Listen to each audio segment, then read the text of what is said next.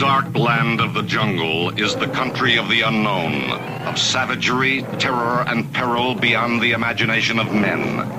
Here, in the forbidden tangle of the jungle, a child was found and raised by the great apes. The boy took the name Tarzan and later was educated in civilization. But then Tarzan returned to the deadly land he knew so well, and everywhere in the jungle, from the great falls to the huge mountains to the land of ghost men and the limitless rainforest. The cheetah has grown to know one who is swifter. The lion knows one who is braver, Tarzan. The strength of Tarzan, no man can say. Deep in the jungle, Tarzan continues to enforce his law, the law of right.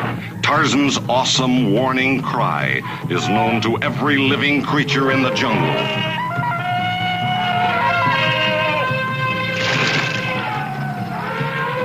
Hearing that cry, the antelope knows he is safe. The lion pauses. The crocodile seeks the safety of the water. The elephant comes to his friend, Tarzan of the Apes.